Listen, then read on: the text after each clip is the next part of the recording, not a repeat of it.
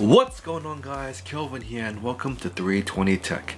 Today's video I want to show you guys how to customize your Apple Watch to give it any watch face that you want with Clockology.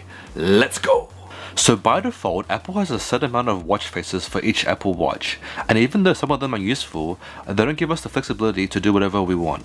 Well, not on my watch. So the very first thing that you'll want to do is install the Clockology app from the App Store. It's as easy as it sounds. So you go into the App Store, click on the search tab and look up Clockology. It should be the first one and then click install. Once downloaded, open the app and you'll be greeted with this random pop-up. Just ignore it. I'll explain how the app works. Okay, since you installed the app on your phone, it should automatically appear on your watch. If it doesn't, go into your watch settings from your iPhone, scroll down to the very bottom and click install. Once this is done, go to your watch home screen and open up the app. Now, it's going to ask for a bunch of permissions to access information like your health data, steps, heart rate, activity rings, all that good stuff. So the Clockology app has a bunch of already pre-installed watch faces and you can access them by swapping from the left or right edge.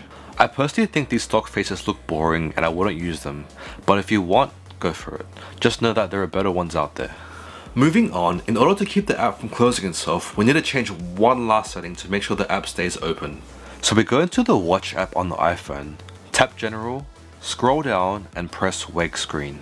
If you look at the bottom of the page, there are customizable options for how long you want apps to stay open before it returns to the default watch face. You want to select always. As you can see here, it doesn't matter how long the watch's screen is off, it'll always show you your third party watch face. That's awesome, but if you look here at the top right corner, there's a digital time that interferes with our third party watch face. We don't want this. It's ugly, it ruins the look of your watch, so let me show you how to get rid of it. Go on the Clockology fans Facebook page and select join. Go to the announcements tab at the top of the page and click on the MediaFire link. If you guys don't have Facebook or are just lazy, I've put the link in the description, you're welcome. Now here's the important part. After you click on the link, you need to open this link in Safari to download the file as Facebook will allow you to download files.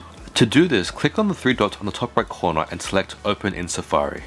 Once that's done, click on the download button. After a few seconds, it'll ask you if you want to download a file called Enable Beta Clock. Click download. After it's downloaded, click on the downloads folder in the top right of Safari and the file will appear there. Select the file and that'll open up the Clockology app. Once you're in the folder, look for the pink circle with the word beta and press and hold on the file. A bunch of options will appear just tap on the watch sync option and then tap on the orange button at the very bottom of the page that says sync activity clocks.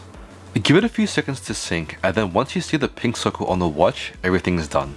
Just give the Apple Watch a quick restart to enable this feature. And that's it. Once you've completed these steps, the time won't show in the top right corner anymore. And now to the fun part. The best way to get new watch faces is to have a Facebook account. Go into the search bar and search for a page called Clockology Fans. It's the same page that I mentioned earlier, and this is the best place to find new watch faces. Every day, brilliant creators show off new and exciting watch faces that you can download. So how exactly do we install these new watch faces? Let me show you. Find a watch face that you like, click on the download link, normally it's Dropbox or MediaFire. Like I mentioned before in this video, press on the three dots in the top right corner to open the link in Safari.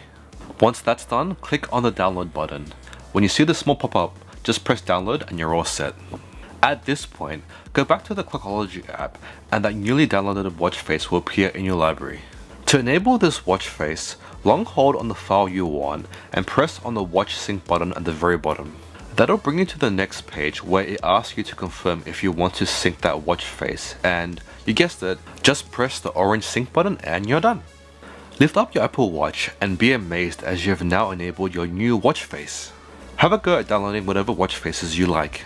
I have the Series 3 Apple Watch and I've installed a bunch of really cool watch faces, even ones that you can only find on the Series 5. This is a great way of bringing life back into your old Apple Watches instead of having to spend hundreds buying a new one. As always, make sure to give this video a like if you found it helpful and subscribe if you want to see more videos like this in the future.